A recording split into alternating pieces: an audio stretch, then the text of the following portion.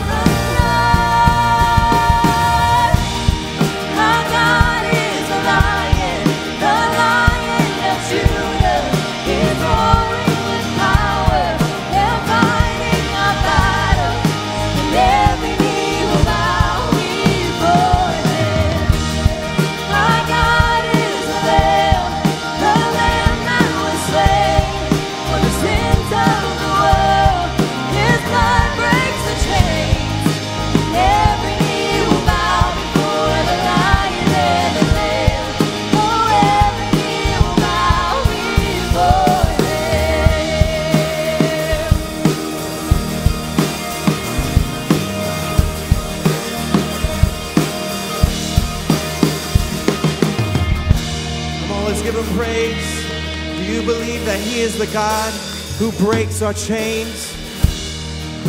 Come on, let's continue to sing to our victorious Jesus.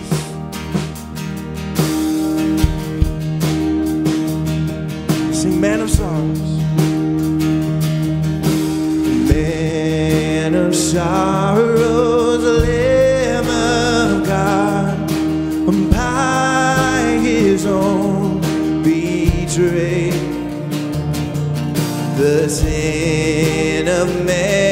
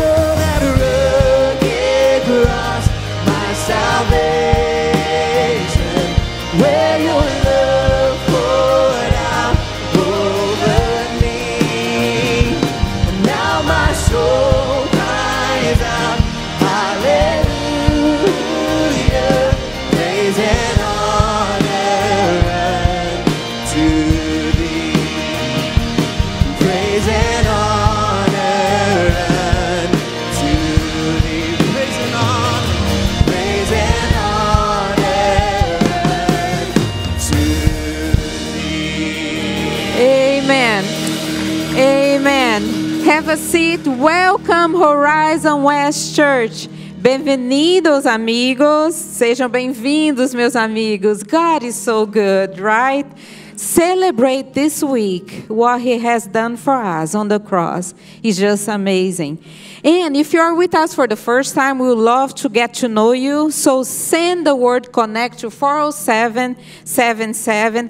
In that form, you can indicate if you want to learn more about us, if you want to have a coffee with Pastor Chris, if you want to know more about what our church is all about, and even if you want to baptize Sunday, you can sign that up on that card. And the way you can do can do electronically, or you can get the card that is on your seat and drop at the check-in desk in the front when you came in, the check-in uh, counter. But Easter is this next week. Can you imagine that? And the way we're gonna celebrate that, we're gonna join Oasis Church, and we're gonna have a service Sunday morning, nine o'clock. And I'm gonna tell you the right time: nine o'clock, 10, 15, 11 30. And the way you're gonna do, you can go on Horizon West Church Easter, and you can RSVP for that. And invite a friend. That is a wonderful time to invite people. People want to come to church at Easter. So bring them and just make sure they know Jesus died, but he's not dead. He's alive. Amen. And another thing we're going to do Friday night, we, you're going to have opportunity to go on Facebook, Horizon West Facebook website, or even YouTube and join us to Easter experience. We're going to have a Good Friday experience at 6 o'clock at night. I brought my phone to cheat, but it's not working. So they give me all these numbers that I have to remember. Excuse me, look at my age. I'm not that young. So, but you're going to get a text with that information. We're going to be sharing that many times during the week and reminding you Friday night, let's get together as a church and watch a video that is just 20 minutes to celebrate what Jesus did on the cross for us. Let's give uh, some time for our giving now. If you are here, you can just send the word giving to 40777. But above all, it's the, so good to know that we can give to the Lord and can, it, He can use that for so many great things. Pastor Chris is going to share today what happened today in this campus. And that happened because of our giving. We are faithful to Him, and He's faithful to us. Amen. So let's pray. Jesus, thank you. Thank you, thank you, thank you. We don't even deserve to be here today. You know our sins, you know us so well, but you still love us and you pay the price for our sins. So today we want to give back not just our offerings, our uh, resources, but we want to give back to you our lives so you can do with it whatever you want to do for your glory. In your name, Jesus, we pray. Amen.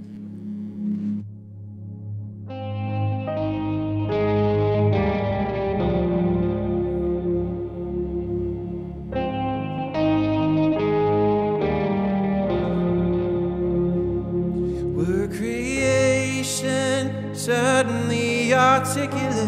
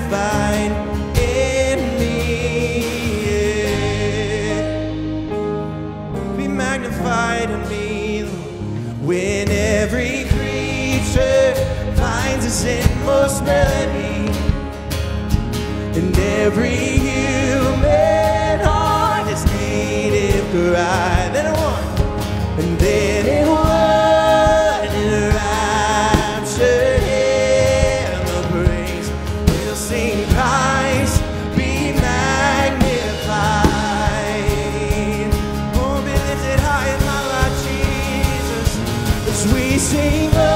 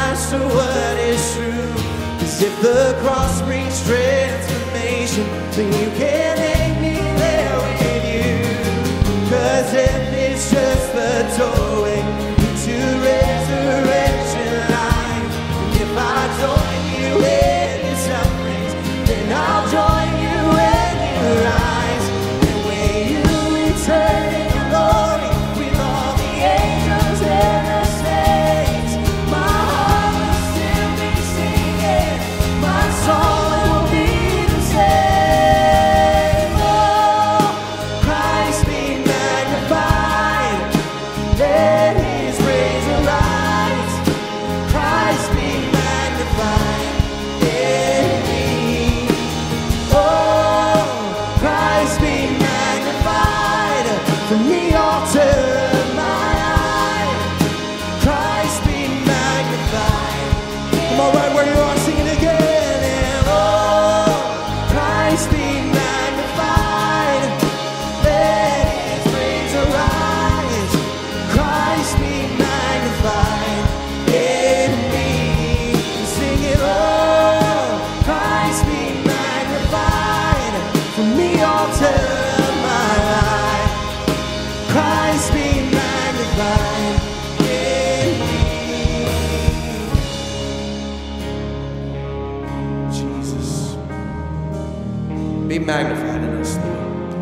we thank you for the cross. It has broken every chain. And we, as broken vessels, can magnify the name of Jesus because of what you did on the cross and the sacrifice you made for each and every one of us, no matter where we are. We thank you for just the grace that you have for us.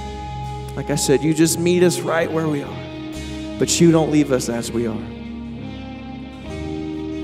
Lord, we thank you for this time of worship we have had. We pray all these things in Jesus' name. Amen. Amen. You guys can be seated. Thank you, team, for leading us. Welcome to Horizon West Church. Uh, if a few of us look a little tanner than normal, uh, it's because we did a thing today. The thing was called Spring Fling, and I feel like I'm rhyming all of a sudden. Um, how many of you are here uh, today helping out, either attending or serving? You can throw your hands high. We are so grateful for you. Um, what an incredible event. We checked in 347 individuals. We believe, yeah, you guys can applaud that. That's awesome. Uh, we believe that total number is probably closer to around 400, which would make it uh, quite likely the biggest uh, event that we've been able to do as a church. Of course, in partnership with Oasis, what an incredible uh, thing to see God bless. And thank you for those that were able to participate. Hey, uh, I'm excited tonight, you guys. I get to, to pick up where Austin, um, our director of missional communities, where Austin left off in his message last week. And so we're going to be in John chapter 17. If you got a Bible or Bible app, uh, we'll also have that on the TV next to me. But just to kind of refresh, and if you weren't here to kind of bring you up to speed, uh, Austin shared rightly that as Jesus is praying in John chapter, se- chapter 17, it's his final public prayer. And what he's doing is entering into the space of a, a priest or of a high priest. And what the high priest would do is he would represent the, uh, the, um, represent the people to God. Somebody is trying to get a hold of us right now, and maybe the Lord is speaking now. Now, now, as we talk about the priestly ministry of Jesus, you need to know that most of Jesus' earthly ministry was what would be called prophetic ministry. Prophetic ministry is speaking to the people for God. So Jesus would say things like, You've heard it was said, but I tell you. He was representing God to the people. But in John 17, Jesus is going to step into the priestly ministry representing the people to God. And Austin pointed out that at the beginning of this prayer in John 17, Jesus is primarily dealing vertically with his relationship with the Father. He's going to th- say things, you'll hear it in just a second, but he's going to say things like, uh, Father, glorify me in your presence with the glory I had before you, uh, with you before the foundation of the world. Jesus and the Father. But in verse 6 or thereabouts, Jesus is going to pivot and he's going to go horizontal. He's going to begin praying for his disciples. And as you'll see, ultimately praying for us. And so we're going to pick it up uh, right there. Um, every Monday, I, I, gather with a few folks from Horizon West Church, and, and they help me to kind of think through the passage that I'm going to be preaching on the weekend. And as we looked at John 17 together, these were two of the things uh, that some of those individuals said. One said, It seems like John 17 is Jesus' vision casting for the church. Another one said, It feels like he's setting the stage for his disciples.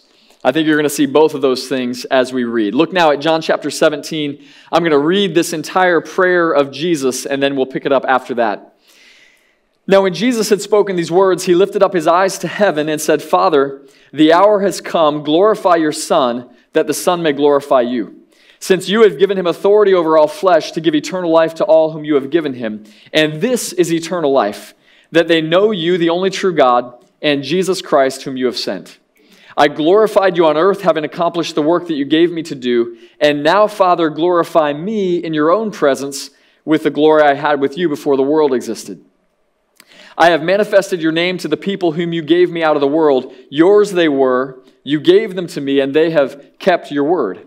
Now they know that everything that you have given me is from you, for I have given them the words that you gave me, and they received them, and they have come to know in truth that I came from you, and they have believed that you sent me. I'm praying for them. I am not praying for the world, but for those whom you have given me, for they are yours. All mine are yours, and yours are mine, and I am glorified in them. Verse 11. I am no longer in the world, but they are in the world, and I am coming to you. Holy Father, keep them in your name, which you have given me, that they may be one even as we are one. While I was with them, I kept them in your name, which you have given me. I have guarded them, and not one of them has been lost except the son of destruction, that the scripture might be fulfilled. But now I am coming to you, and these things I speak in the world, that they may have my joy fulfilled in themselves. I have given them your word, and the world has hated them because they are not of the world, just as I am not of the world. I do not ask that you take them out of the world, but that you keep them from the evil one. They are not of the world, just as I am not of the world. Sanctify them in the truth. Your word is truth. As you sent me into the world, so I have sent them into the world, and for their sake I consecrate myself, that they also may be sanctified in truth. I do not ask for these only, but also for those who will believe in me through their word, that they may all be one, just as you, Father, are in me and I in you, that they also may be in us, so that the world may believe that you have sent me. The glory that you have given me, I have given to them, that they may be one, even as we are one. I in them, and you in me, that they may be perfectly one, so that the world may know that you sent me, and love them, even as you have loved me. Father, I desire that they also, whom you have given me, may be with me where I am, to see my glory that you have given me, because you loved me before the foundation of the world. O righteous Father, even though the world does not know you, I know you, and these know that you have sent me. I made known to them your name, and I will continue to make it known that the love with which you have loved me may be in them, and I in them. Now, this is obviously a prayer of Jesus, and, and, it, and it can serve for us as kind of a model prayer. Uh, one of the things that, that jumped off the pages in looking at this was the parallel that I see in Jesus' prayer with what we know of as the Lord's Prayer. You remember that one? Our Father who art in heaven, hallowed be thy name, thy kingdom come, thy will be done on earth as it is in heaven. The, the first part of Jesus' prayer is going to be that Father in heaven part, right? Where he's saying, Father, glorify, glorify me in your presence with the glory that I had with you. But the second part is going to be that thy kingdom come, thy will be done on earth as it is in heaven. In fact, I would submit to you that the way that Jesus says the words on earth as it is in heaven in chapter 17 of John is in them as it is in me. In them as it is in me. And so, what I want to do for the next 20, 25 minutes or so is look at what those things are that are true of Jesus that he's going to say, oh, by the way, these are also true of, or to be true of those who are my followers. Here's the first one true of Jesus, true of us. Number one, that we are set apart from the world just as Jesus was set apart from the world. Did you see that in verse 14 through 17? I'm going to just quickly reread that. He says, I've given them your word, and the world's hated them because they're not of the world, just as I am not of the world. Uh, let me jump back down. 17. They are not of the world, just as I am not of the world. Sanctify them in the truth. Your word is truth. He says it two times. They are not of the world in the same way that I am not of the world the value that I think Jesus is inferring on his disciples here is the value of holiness. Now, some of you, when you hear the word holiness, your mind goes in a bunch of different places, right? For some of you, the idea of holiness what was a thousand pound weight that a parent or a pastor or somebody put on you, and you said, I can't be holy, right? Like, how do I be holy? But you need to know that the word holiness comes from a word in Hebrew that, that, that the word is kodesh. And what it means is not somehow like someone who walks on water or has halos over their heads. Kodesh means someone who is set apart, someone who is distinct. The Israelites of the Old Testament were to be distinct and different from the nations around them. And Jesus says, I want my followers to be distinct and set apart from the world. In fact, they are as different as I am. The way I was taught this when I was younger is, is a little uh, phrase that goes like this We are to be in the world, but not of the world. You guys all heard that. That's a good one. In the world, but not of the world. Now, someone developed three approaches. These are not mine, they're not original to me, but three approaches that we can take when it comes to culture. I think we've got these on the screen here. Uh, one is that we receive the culture, okay? Uh, the person who is uh, receptive to culture is the person who is unfiltered. Whatever the culture produces in its movies, in its music, in its philosophies, they just absorb it, they just receive it. That's not the posture we want to have. Another group of people do this, though. They reject the culture. Whatever the culture puts out, they, they say that's bad, that's wicked. We don't have anything to do with that. These are the, the monastic types, right? They remove themselves from anything that could possibly taint them, and they cut themselves off from people who are of the world and they reject it. Jesus said we're not to do that either.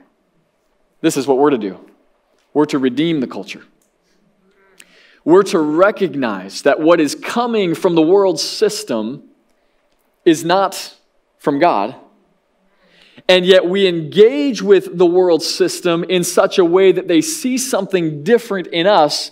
And as it says in Matthew 5, that as we shine our light in the darkness, they may see our good deeds and praise our Father in heaven. That, that we're to have a redemptive role when it comes to the world around us.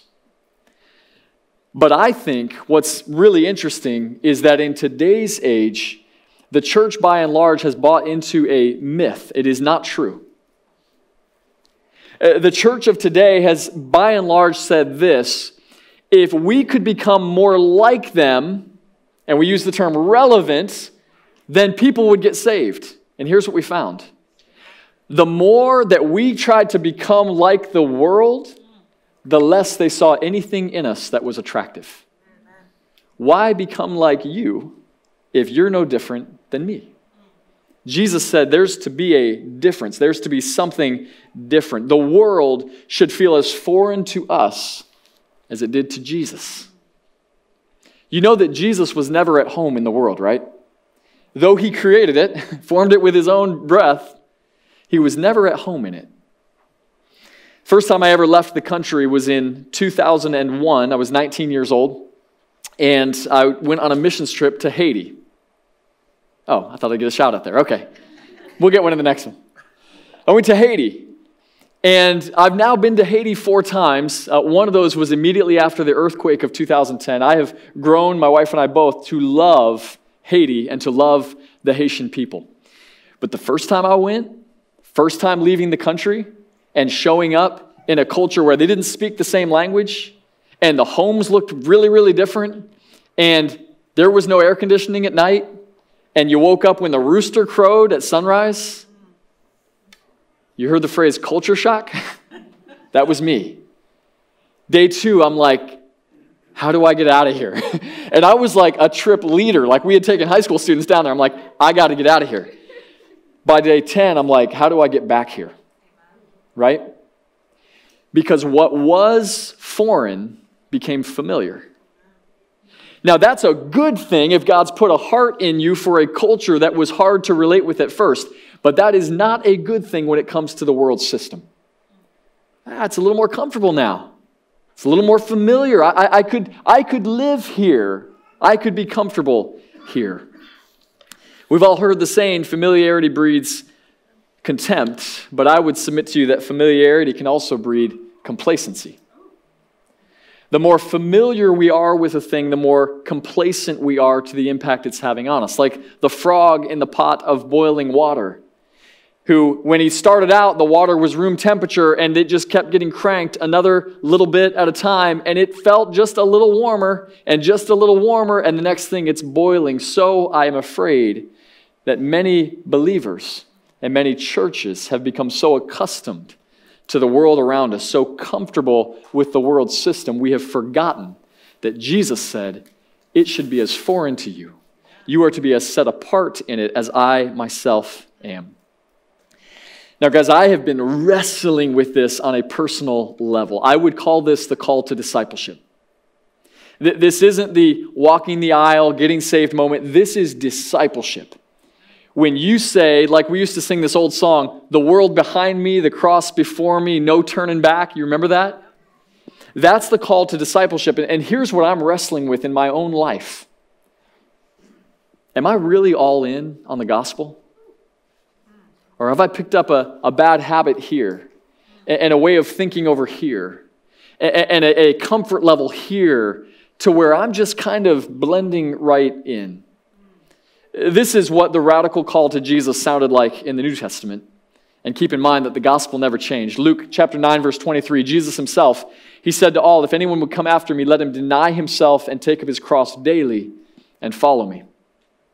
One early follower of Jesus, James, said it this way You adulterous people, do you not know that friendship with the world is enmity with God?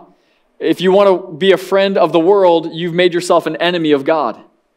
Or how about another of Jesus' disciples, John? Do not love the world or the things in the world. If anyone loves the world, the love of the Father is not in him. Can I give you one more? The apostle Paul, Galatians 6:14. Far be it from me to boast except in the cross of our Lord Jesus Christ, by which the world has been crucified to me and I to the world. Are you getting a theme here? The first followers of Jesus understood what Jesus was praying.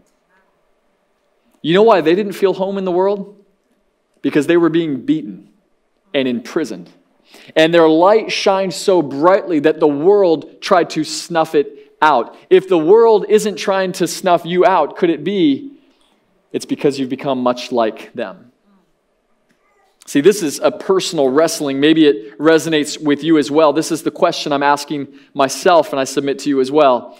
Do your relationships and conversations and the way you spend your time and money reflect that the gospel of Jesus Christ is your all consuming priority? We're going to let that sit for a minute. Friends, this life, be it 40 years, 80 years, 90, it's going to be over one day. And you're not going to say, man, if only I had accumulated a little bit more wealth. Man, if I only had fit in a little bit better in this thing called the world. You're going to say, I wish I had been able to say, the world behind me, the cross before me. That is all that matters. We are set apart. Secondly, we are sent into the world just as Jesus was sent into the world. Let me read again verses 18 and 19. As you sent me into the world, so I have sent them into the world, and for their sake I consecrate myself, that they may be sanctified in truth. The value here that I see is the value of mission. This answers the question that you might have asked yourself at times why leave Christians in the world after salvation? Have you ever wondered about that? I mean, it seems like the moment that you get in the life raft called salvation, it's like, let's go home, right? Who is it? Kenny Chesney. Everybody wants to go to heaven, but nobody wants to go now, right? But it's like, why? If, if think about it from God's perspective, like, oh, that person's saved. Okay, I'm going to bring him to heaven, right? Why? Why doesn't it work like that? Here's why. Because God has, in His sovereign wisdom, left us in the world to continue the mission He began. The only way that others will hear the good news of Jesus is because God left Christians among them to be salt and light and bearers of good news. That's why you exist. And it's the only reason you're still on earth if you've come to faith. So, so what is the mission of Jesus? Here it is, Luke 19:10. This is the mission. The Son of Man came to seek and to save the lost.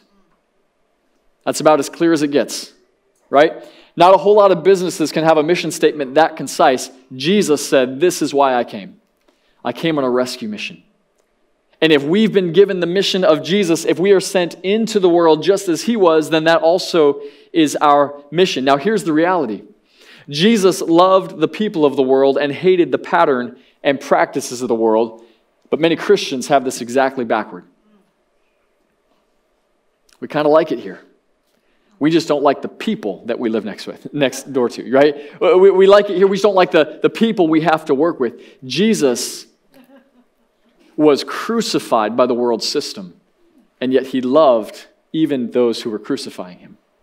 So we, gotta, we gotta flip this around. This is what it means to be in the world, but not of it that, that we engage, that we go into the places that are hard to reach, that, that we go as salt and light to our neighborhoods and our workplaces as Jesus himself was. In fact, did you know that in the Gospel of John, where we are in John 17, 39 times Jesus says about himself that he was sent by the Father?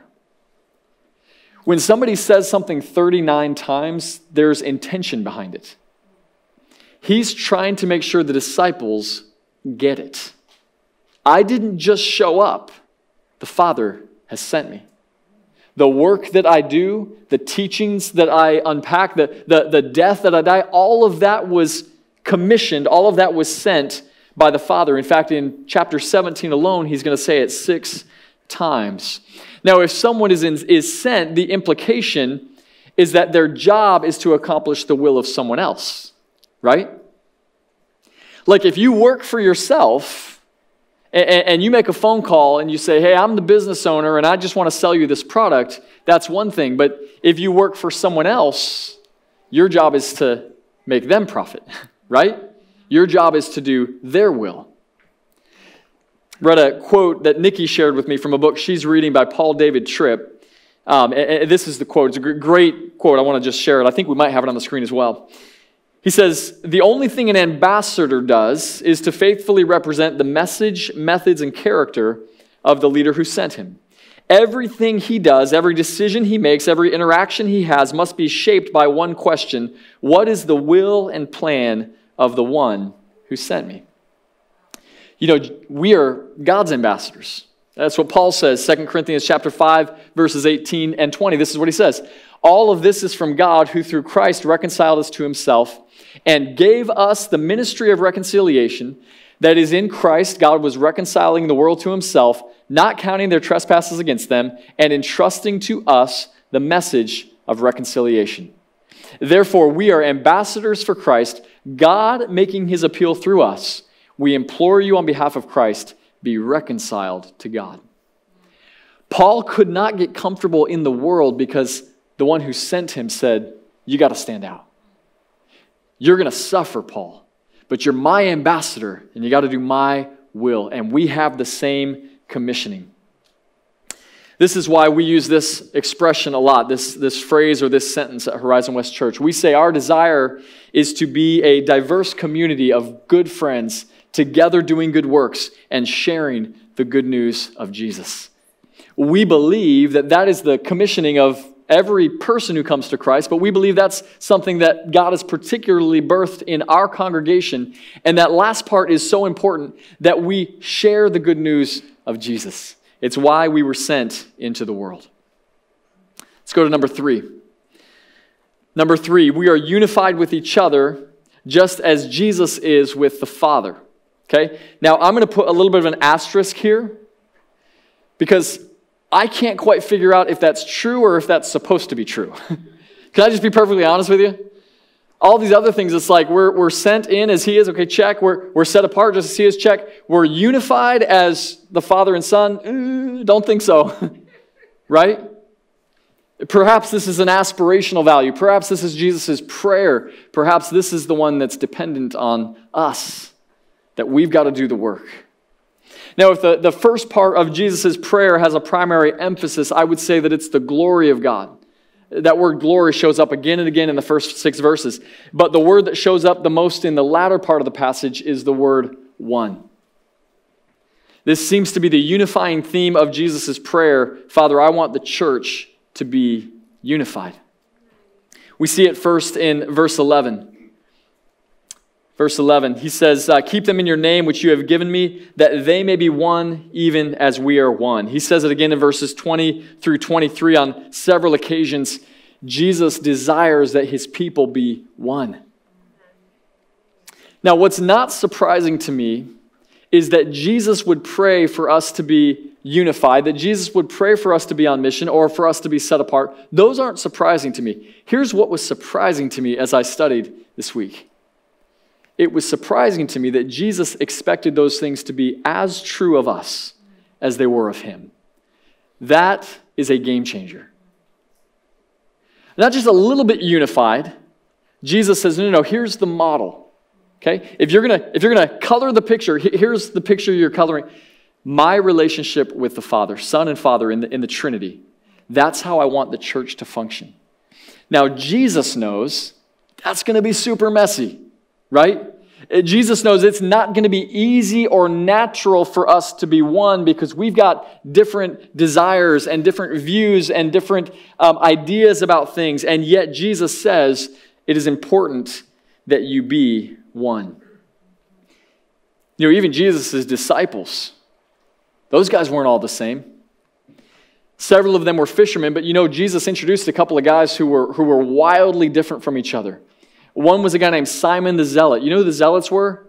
Uh, that's, the, that's the burn it down camp. that's the overthrow Roman rule. If it costs us our life, like we're going all the way, bear the sword. And Jesus said, Simon, follow me. And then Jesus turned around and said, No, by the way, Matthew, tax collector, the one that gathers money from the Jewish people and gives it to the Romans, you follow me as well. And Jesus was reconciling, and, and in even that band of 12 disciples, Jesus was demonstrating I want unity, but not uniformity. I, I want you to think a little differently. I want you to look different. I want you to speak different languages. I, I want you to have different cultures and experiences. And there's going to be a beauty in that when it's all brought together in the cross, it's going to be unifying. Nikki and I have started watching The Chosen. I've talked about it a few times. Some of you guys have started that as well. I'm just going to make a quick plug. It's, it's an app called The Chosen. You can watch it through your phone or project it on, a, on a several things. I'm not getting paid to say that, by the way. Nobody cares what I say. So, uh, you know, um, I mean, you care, but anyway, I hope you care.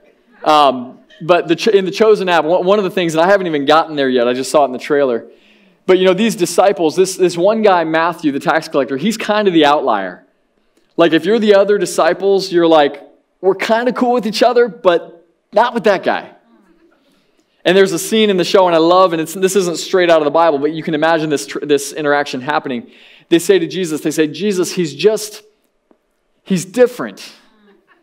And Jesus turns around and says, Get used to different. See, if we're going to be unified with each other in any sort of way that looks anything like the Father and the Son, we're going to have to get used to different.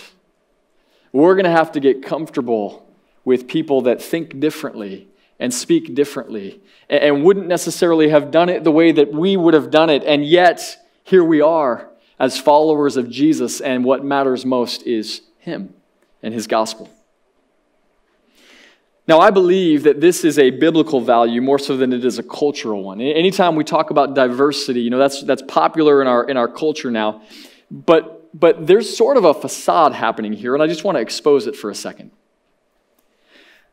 I believe the world actually has very little interest in uni- unity among diverse people. What the world wants is to produce people that all think and act and behave like the world. Right? So, news media, social media, most of our colleges and universities, they're not promoting diversity as much as they are promoting uniformity of thought. The place we have a chance to highlight true diversity is in the church. We should be leading the way. We should be setting the standard. People should look at us and go, I've never seen anywhere where people choose not only to be in a, the same organization, but to be in friendship with each other when they are this different from each other. That's why that first part of our mission is so important that we be a diverse community of good friends. It's not enough to have diverse people in your tribe. Do you have them at your table? Do you know people who are different than you? Are your children being raised not only in school with others, but in relationship with others who are different from them? And this is why it's so important. Because Jesus says in verse 23 that the world may know that you sent me. Friends, this is not a small thing. Do you remember in John chapter 13, Jesus has just finished washing the disciples' feet? By the way, he did that while Judas was still in the room. And then he says to the disciples, Here's how everyone's going to know that you're my disciples. Do you remember? It's how you love one another. There is something in the way that we love each other, there's something in the way that we are unified together that tells a watching world what they believe is true, what they believe is real. When the church is unified, the world becomes convinced and God is glorified. I think that's the progression Jesus wants to build. When the church is unified, the world becomes convinced and God is glorified. Here's number four, and our last one. We are loved by the Father just as Jesus is loved by the Father. Two, two verses, verse 23 and 26. I in them and you in me, that they may become perfectly one, so that the world may know that you sent me and that you loved them even as you loved me. Verse 26 I made known to them your name, and I will continue to make it known that the love with which you loved me may be in them, and I in them. The value here that I think Jesus is trying to transfer to the disciples is an understanding of how deeply they are loved. Did you know that so much brokenness in our world comes from a simple misunderstanding of people not knowing how much God loves them? I mean, it manifests itself in all kinds of ways, but if you were to get to the heart of it, they're still thinking they've got to win God's approval, that they've got to, to do enough things or stack enough, and they've been shamed and they've been guilted and they've been wounded, and most often in religious circles, and they've said, I'm not doing that anymore. And Jesus says, Whoa, whoa, whoa time out, time out. If you know me, the very same love the Father has for me is in you. You are deeply and dearly loved by the Father.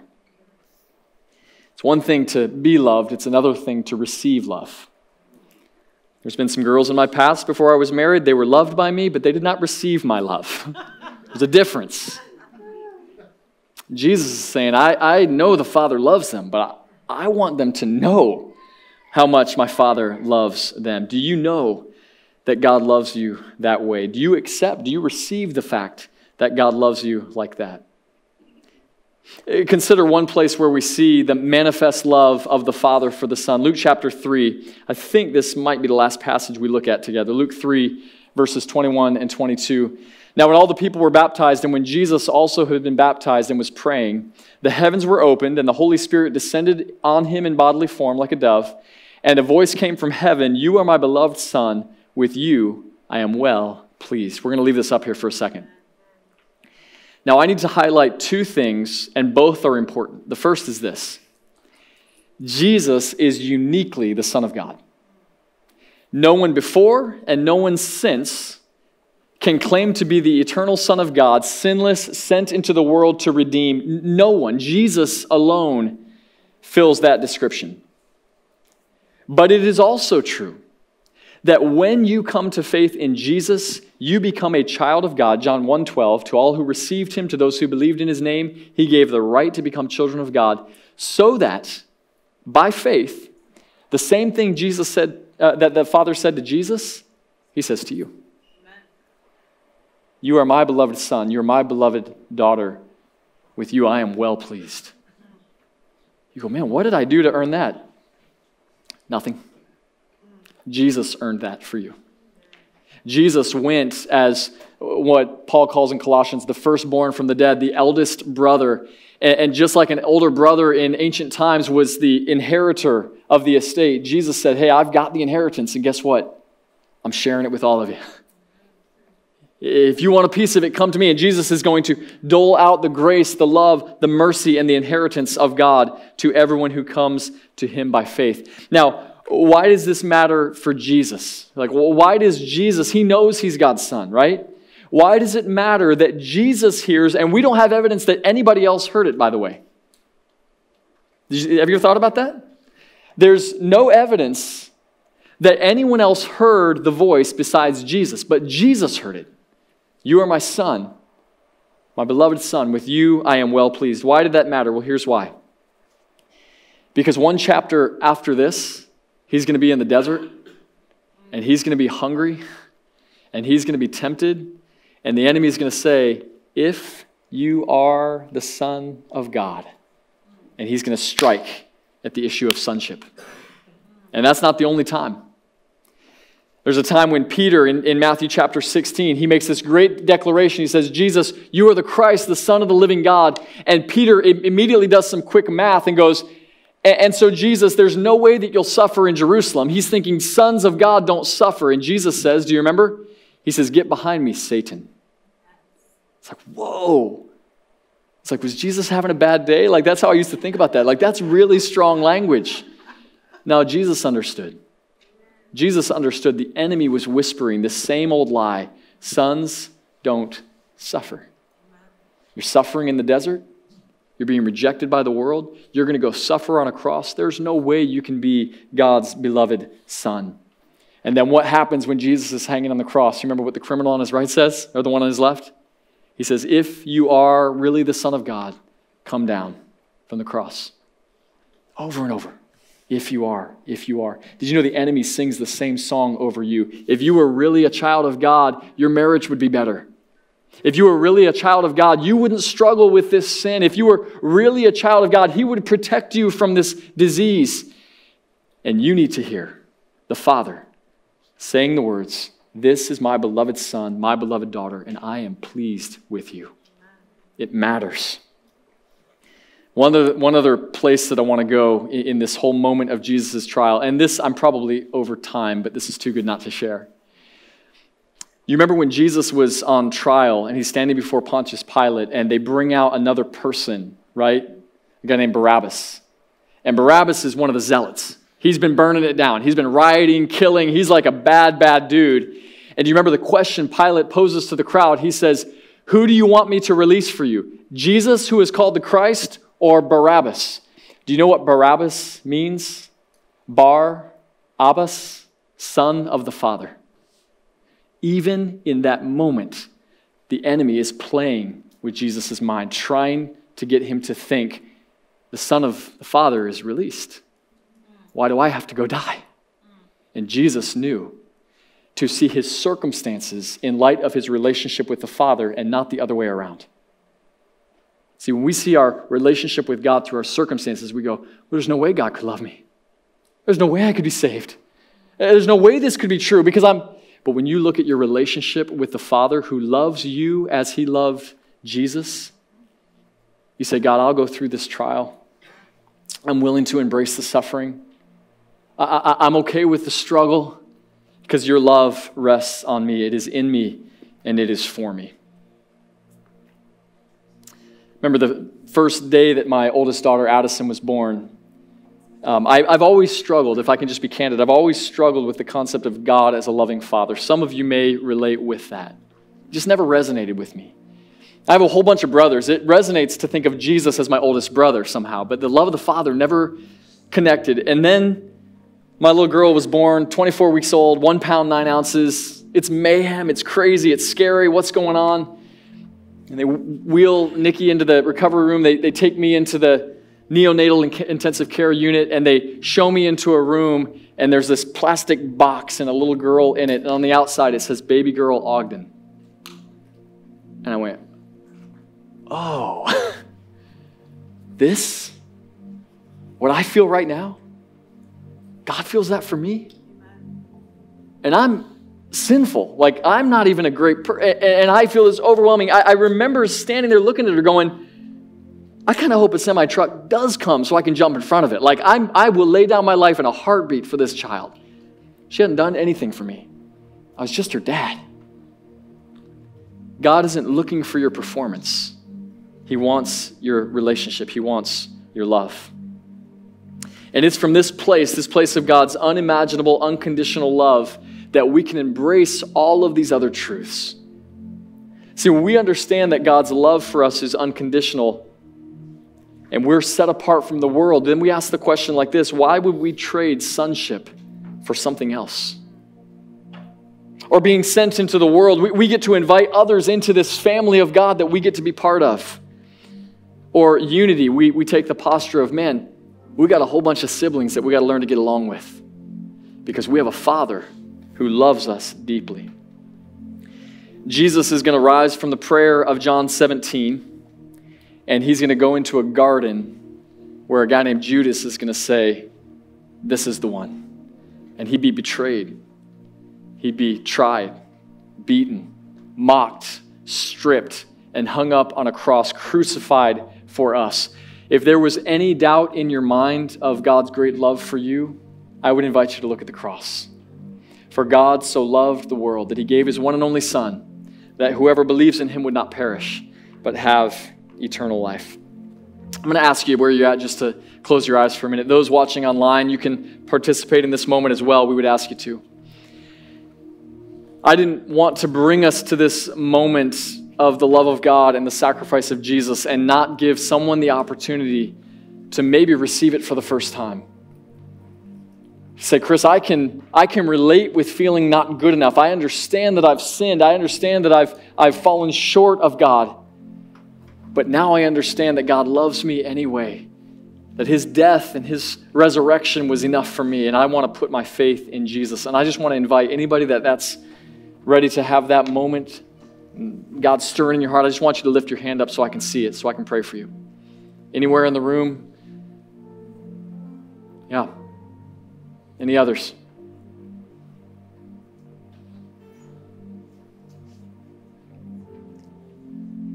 Let me pray. for us.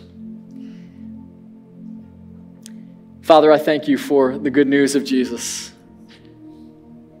God, I thank you for an older brother who wasn't ashamed, wasn't afraid to go to the cross to win us the inheritance, Lord. He is our champion.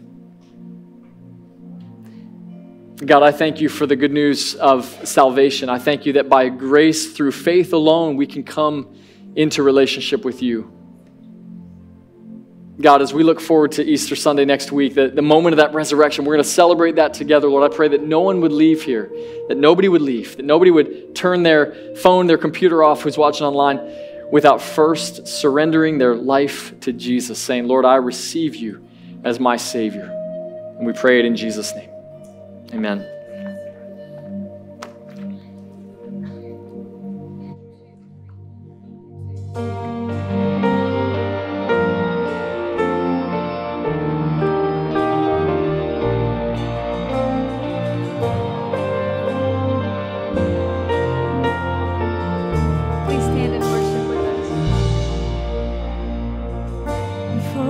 Spoke a word, you were singing over me.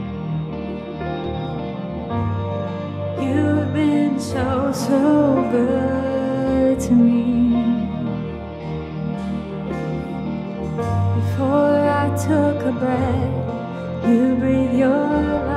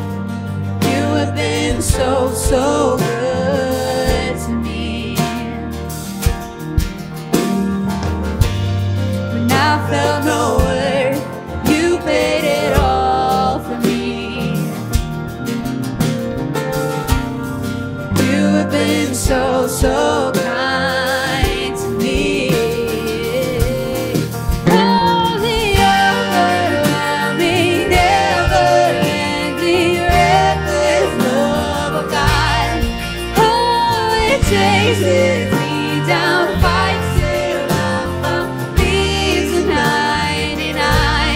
And I couldn't hurt it,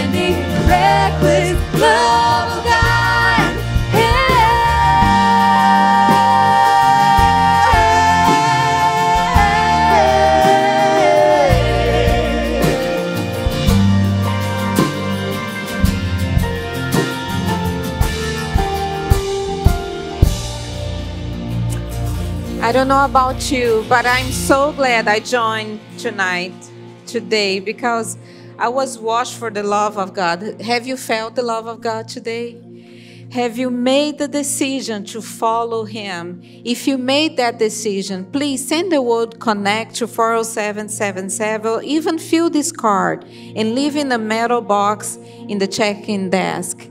And if you want to take the next step of baptism, what can we do next? Yes, Jesus, I receive your love.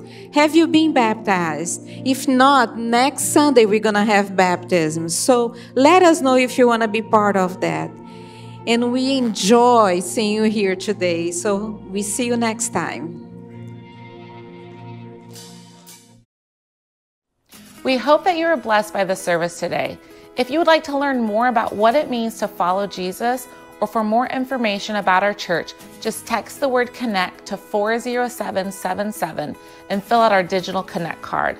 The connect card is the easiest way that you can take your next step, whether that's following Jesus for the very first time or getting connected to one of our small groups or serve teams.